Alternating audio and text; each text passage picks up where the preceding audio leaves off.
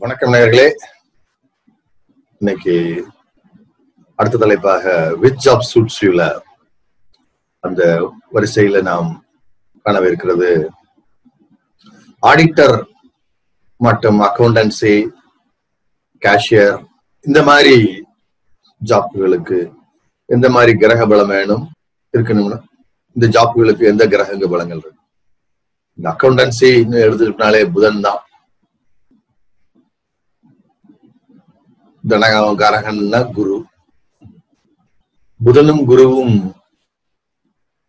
ஒரு இதுல நல்லா இருந்துச்சு பார்க்கிறது இருந்துச்சுன்னா ஆடிட்டர் ஆகிறதுக்கோ இல்லாட்டி சிஏ அக்கௌண்டன்ட் ஆகிறதுக்கோ வாய்ப்புகள் ஜாஸ்தியா இருக்கும். இப்ப நான் ஃபர்ஸ்ட்ல நம்ம பார்ட் ஒன்ல சொன்ன மாதிரி தொழிலுக்குன்னு சொல்லிக்கிட்டோம்னா ஃபர்ஸ்ட்ல நம்ம வந்து ஒன்னு ரெண்டு அஞ்சு ஒன்பது பத்து பதினொன்னு வீடுகள் நல்லா இருக்கணும். அந்த வீட்டுடைய அதிபதிகள் நல்லா இருக்கணும். இருந்தா தான் தொழில வந்து ஜாப் வேலையில வந்து நல்லா இருக்க முடியும். இல்லாட்டி வேலையில பிரச்சனை கொடுத்துட்டே இருக்கும். இதுதான் மெயினான ஒண்ணு. பிறகு ரெண்டு ஒன்பது பத்துக்குடைய திசைகள் நம்ம வேலை செய்யறப்ப வரணும் வந்தா நல்லா இருக்கும்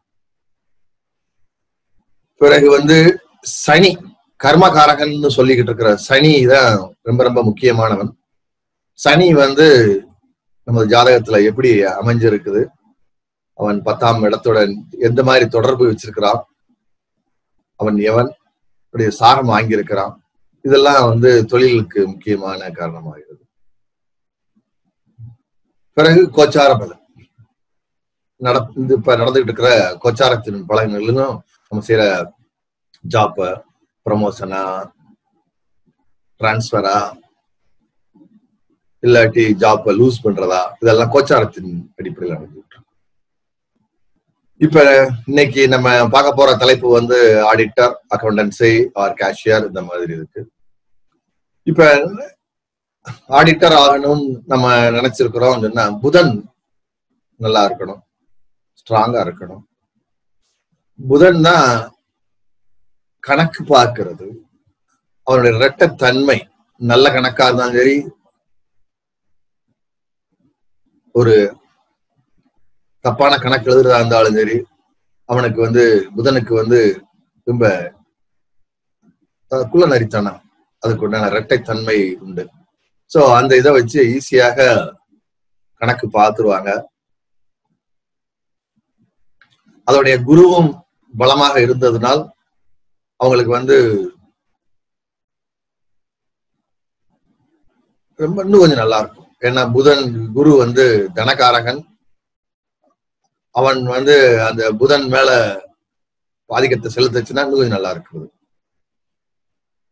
இப்ப வந்து நம்ம தொழிலுக்குன்னு சொல்லிட்டோம்னா புதன் பத்தாம் வீட்டுல இருக்கிறதா? இல்ல எங்க இருக்கிறதுங்கிறத பத்தி பார்ப்போம். ஒரு எக்ஸாம்பிள் ரெண்டு எக்ஸாம்பிளோட பார்ப்போம் இன்னைக்கு. ரெண்டாவது புதனுடைய நட்சத்திரங்களான ஆயில்யம் கேட்டை ரேவதி. இதுல வந்து புதன் இருந்தாலும் சரி சந்திரன் இருந்தாலும் சரி சனி இருந்தாலும் சரி இந்த அக்கௌண்டன்ட்டோ ஆடிட்டரோ ஆறதுக்கு வந்து வாய்ப்புகள் ஜாஸ்தியாக இருக்கும். இப்ப குருவும் புதனும் இணைய வேண்டும் பார்க்க வேண்டும். இருந்தால் எல்லாமே பாசிட்டிவா இருக்கும். அதாவது நம்ம நார்மலா புதன் ஆட்சி உச்சம் நட்பு நிலைமையில இருந்துச்சுன்னா ரொம்ப ரொம்ப நல்லது. திரிகோண ஸ்தானங்களில் புதன் நல்ல நிலைமையில இருக்கணும். புதனுக்கு திரிகோண இடங்கள்ல இருக்கிற குரு இருந்தா நல்லா இருக்கும் இப்ப நம்ம சனிய ஆல்ரெடி சொல்லியிருக்கிறேன். சனியும் இந்த இடத்துங்கள்ல அதுக்கு வலு ஊட்டுவான் ஏன்னா சனிதான் நம்மளுடைய கர்மகாரகன் அவன் தான் இந்த இடத்துல வலுவை ஊட்டுறவன். சோ அதுவும் ரொம்ப முக்கியமாக இங்கப்படுது இப்ப நான் ஃபர்ஸ்ட் ஆடிட்டர் ஆகணும்னா நான் என்ன சொல்லியிருந்தேன்னா கேட்டை ரேவதி ஆயில்யம். இந்த நட்சத்திரத்துல இருந்துருந்துச்சுன்னா புதனோட நட்சத்திரங்கள் இந்த நட்சத்திரங்கள்ல வந்து சான்சஸ் ஜாஸ்தி. அதுக்காக இந்த நட்சத்திரம் இருக்கவங்க மட்டும்தான் ஆடிட்டர் ஆவாங்க. மற்றவங்க எல்லாம் ஆடிட்டர் ஆக மாட்டாங்க எல்லாம் கிடையாது. அஸ்வினி மகம் மூலம் கார்த்திகை உத்தராம் உத்தராடம் சந்திர நட்சத்திரங்கள ரோகிணி அஸ்தம் திருவோணம் இந்த இதெல்லாம் இருந்துச்சுன்னா கொஞ்சம் ஃபேவரபிள் அவ்வளவுதான். புத்தனோட நட்சத்திரத்துல இருந்துச்சுன்னா ரொம்ப ரொம்ப நல்லது. மற்ற நட்சத்திரங்கள்ல இருந்தாங்கன்னா ஃபேவரபிளா இருக்கும். இந்த மாதிரி பிகாம் எம்காம் இப்ப நிறைய கம்ப்யூட்டரைஸ்டு இதுவா வந்துருச்சு. அதனால ராகு சம்பந்தப்பட்டாலும் இதுல வந்து கம்ப்யூட்டரைஸ்டு அக்கௌண்டன்ட் ஆகிறதுக்கு வாய்ப்புகள் ஜாஸ்தியாக இருக்கும். ஏன்னா ராகுவும் சம்பந்தப்படுது கம்ப்யூட்டர் அக்கௌண்டன்ட் சிஏ நிறைய அதாவது கம்ப்யூட்டர் பேஸ்ட் பிகாம் அது நிறைய வந்துகிட்டு இருக்குது. ஏன்னா கம்ப்யூட்டரும் தெரிஞ்சாகணும் ஆடிட்டிங் தெரிஞ்சாகணும். இப்ப நம்ம ரெண்டு உதாரண எக்ஸாம்பிள்ஸோட பார்ப்போம். முதல் உதாரணமாக ஒரு ஆடிட்டர் ஜாதகத்தை நம்ம எடுத்துக்கிடுவோம். இந்த ஆடிட்டர் ஜாதகத்துல நீங்க பாத்தீங்கன்னா லக்னம் வந்து கனி லக்னம். புதனுடைய வீட்டுல இருக்கிறாப்புல. லக்னத்துல ராகு இருக்கிறாப்புல.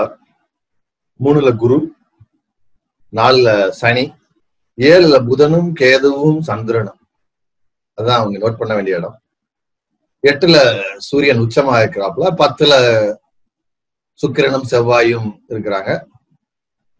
மே ஐந்து ஆயிரத்தி தொள்ளாயிரத்தி ஐம்பத்தி ஒன்பதுல பிறந்திருக்காங்க இதுல வந்து நீங்க நம்ம ஜென்ரலா ஒரு ஆடிட்டர்ங்கிறதுக்குன்னா புதன் வேணும்னு நம்ம சொல்லியிருக்கோம்.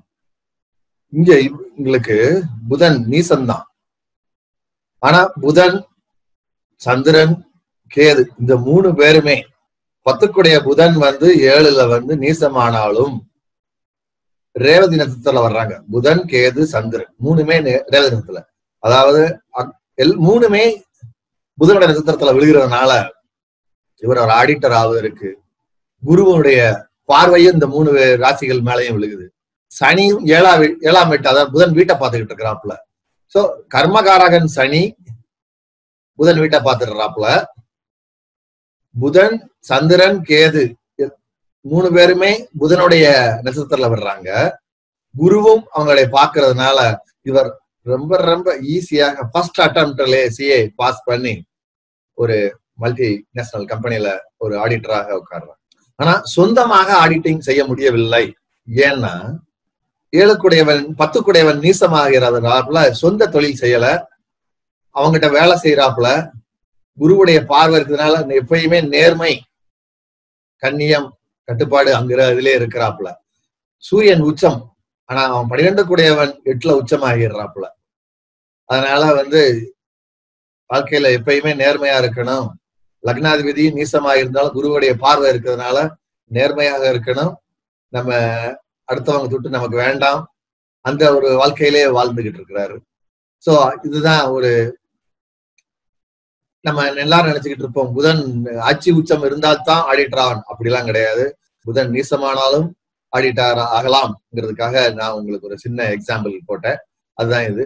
சோ இது குருவுடைய பார்வை விழுகுது சனி வந்து புதனுடைய வீட்டை பார்த்துக்கிட்டு இருக்கிறாப்புல. எல்லாம் பார்வையாக புதன் கேது சந்திரன் எல்லாமே ரேவதி நட்சத்திரத்துல விழுகிறதுனால இது வந்து ஒரு ஆடிட்டர் ஈஸியாக அவங்க ஆடிட்டர் ஆகி லைஃபை சக்சஸ்ஃபுல்லா ஓடிக்கிட்டு இருக்கிறாங்க. இதுதான் ஒரு ஆடிட்டருடைய எக்ஸாம்பிள் அடுத்தது இன்னொரு சின்ன எக்ஸாம்பிள் உங்களுக்காக காட்டுறது வந்து ஆயிரத்தி தொள்ளாயிரத்தி அறுபத்தி ஏழு ஜூலை இருபத்தி நாலு. இவருடைய ஜாதகத்துல வந்து மீன லக்னம் சனி அங்க இருக்கிறாப்புல. பதினொன்று பன்னெண்டு குடையவன் சனி ரெண்டுல ராகு. நாலுல புதன் புதன் ஆட்சி. அஞ்சுல குரு உச்சம் சூரியன் ஆறு கூடிய சூரியன் அஞ்சுல இருக்கிறாப்புல அஞ்சு கூடியவன் பனிரெண்டுல போய் மறைஞ்சிடுறாப்புல. எட்டுல கேதுவும் செவ்வாயும். இங்க பாத்தீங்கன்னா குரு உச்சம் இருக்கிறாப்புல புதன் ஆட்சி உச்சமாகி இருக்கிறாப்புல அக்கௌண்டன்ட் ஆகுறாரு. ஏன்னா புதன் வந்து நல்லா இருக்குது. புதனுக்கு குரு பார்வை இல்லை. சனிக்கு வந்து சனி வந்து இங்க சனி வந்து நம்ம சனியை பார்க்கணுங்கிறோம். சனி வந்து ரேவதி நட்சத்திரத்துல வாங்குறாப்புல. சோ ரேவதிங்கிறது புதனுடைய நட்சத்திரம். நான் ஃபர்ஸ்ட்லேயே சொல்லியிருக்கிறேன். அவர் நல்லா படிச்சிருக்கிறார். எம்காம் படிச்சிருக்கிறார். அவருக்கு வந்து அஞ்சு கூடையவன் பன்னிரெண்டுல மறைஞ்சிடுறாப்புல. ரெண்டு ஒன்பது கூடைவன் எட்டுல போயிடுறாப்புல. அதனால வேலை அமைவதற்கு ஃபர்ஸ்ட்ல ரொம்ப சிரமப்படுறாப்புல. ஆனா ஆஃப்டர் மேரேஜ் அவருக்கு வந்து ஒரு நல்ல வேலையாக அமையுது. அவர் வந்து அஞ்சு குடைவன் பன்னிரெண்டுல மறைஞ்சதுனால வெளிநாட்டுல தான் அவர் ஒரு அக்கௌண்டன்ட் ஒரு சீனியர் அக்கௌண்டண்டாக வெளிநாட்டுல அவர் செட்டில் ஆகிறாரு. சோ இங்க பாத்தீங்கன்னா புதன் ஆட்சி ஆட்சியாக இருக்குது குருவும் இருக்கு. புதனுக்கு வந்து குருவுடைய பார்வை இல்லை. செப்பரேட்டா இருந்தாலும் இங்க ரெண்டு ஒன்பது மறைஞ்சதுனால ஒரு காரணமும் அஞ்சு குடைவன் பன்னிரெண்டுல போயிட்டான். அதாவது திரிகோணமாகிய அஞ்சு ஒன்பது மறைஞ்சிறது ஒன்பது குடைவன் எட்டுல போயிடுறான் ரெண்டு குடைவன் எட்டுல போயிடுறான் அஞ்சு குடைவன் பன்னிரெண்டுல போயிட்டான். அந்த ஒரே காரணத்தினாலதான் முதலில் படிப்பிற்கேற்ற வேலை கிடைக்காமல் சிரமப்பட்டுள்ளார். ஆனா பத்துக்குடைய குரு உச்சமாகிறதுனால லக்னம் ஒண்ணு பத்துக்குடையவன் குரு உச்சமாக இருக்கிறதுனால வாழ்க்கையில வந்து இவரு மேல மேல வளர்ந்துகிட்டே தான் இருக்கிறாரு. இதுதான் ஒரு இன்னொரு அக்கௌண்டன்ட் உண்டான ஒரு ஜாதகம். இப்ப நம்ம ஒரு அக்கௌண்டன்ட் ஆர் அ கேஷியர் இந்த மாதிரி வேணும்னா ஒரு ரெண்டு சிம்பிளான எக்ஸாம்பிள்ஸ் பார்த்தோம். ஸோ இதுல வந்து குரு சனி புதன் இந்த மூணுடைய காம்பினேஷன்ஸ் தான் வேணும். ஒரு அக்கௌண்டன்ட் ஆர் கேஷியர் ஆர் ஜாப்ஸ்களுக்கு எல்லாத்துக்குமே. ஏன்னா கணிதம் முக்கியம். இருந்துச்சுன்னா அவங்க வந்து அக்கௌண்டன்ட் வாழ்க்கை அக்கௌண்டன்ட்ல சக்சஸ் பண்ணுவாங்க. சூரியன் செவ்வாய் சேர்ந்துச்சுன்னா சூரியன் சேர்ந்துச்சுன்னா கொஞ்சம் கவர்மெண்ட் அந்த மாதிரி இதுல போவாங்க. இல்லாட்டி தலைமை பொறுப்புக்கு அவங்க வாய் வாய்க்கும் வாய்ப்புகள் அதிகமாக இருக்கும். இதுதான் ஒரு ஆடிட்டர் ஆர் அக்கௌண்டன்ட் ஆகிறதுக்கு உண்டான ஜாதக அமைப்புகள். உங்களுக்கு இந்த மாதிரி ஜாதக அமைப்புகள் இருந்துச்சுன்னா நீங்களும் ஆடிட்டர் அக்கௌண்டன்ட் ஆக வாய்ப்புகள் ஜாஸ்தியா இருக்கும். உங்களுக்கு ஏதேனும் சந்தேகங்கள் இருந்துச்சுன்னா கீழே இருக்கிற வாட்ஸ்அப் நம்பருக்கு மெசேஜ் பண்ணுங்க. நான் உறுதியாக ஃப்ரீயா இருக்கிறப்ப பதில் போடுறேன். இந்த வீடியோ பிடிச்சதுன்னா லைக் பண்ணுங்க. சப்ஸ்கிரைப் பண்ணாதவங்க கண்டிப்பாக சப்ஸ்கிரைப் பண்ணுங்க. நன்றி வணக்கம்.